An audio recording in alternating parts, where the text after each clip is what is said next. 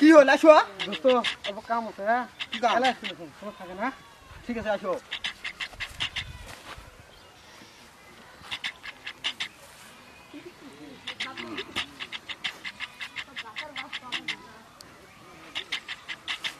দোস্ত বুঝছে কাম আসো এদিকে এসো এদিকে এসো আগে এসো ও এসো করোটা